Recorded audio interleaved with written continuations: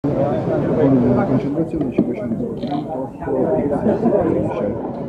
il leggero riuscì a mantenere una concentrazione di display di 512 in uno smartphone delle dimensioni di questo grazie ai bordi laterali molto sottili e all'assenza dei tasti fisici laterali che sono stati spostati sul retro del dispositivo. Questa soluzione è già stata adottata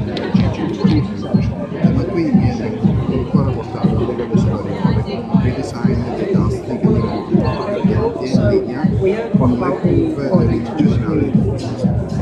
il pannello posteriore ci permette di montare questa struttura meccanica con un trattamento opaco che serve a una raccolta di fogli digitali